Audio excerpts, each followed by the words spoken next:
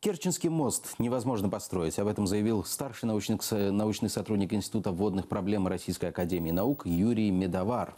Он рассказал, что для строительства подобных объектов необходимо собрать множество решений и разрешений. Ведь, во-первых, это очень масштабный проект, а во-вторых, очень рискованный, ведь грунт Керченского пролива совершенно непригоден для строительства моста.